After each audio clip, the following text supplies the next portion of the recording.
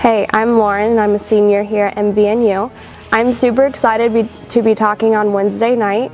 What I want to speak about is when I came here to MVNU, everyone told me that college would be the best years of our life. And while I still think that, I know that there's a lot of pain and and just horrible things that can happen to us during college that can leave us feeling paralyzed. So I want to talk about how we can help our friends and each other encounter God during those pa painful times in our lives. Um, grab a friend and come out on Wednesday night. I'm really excited to see you guys.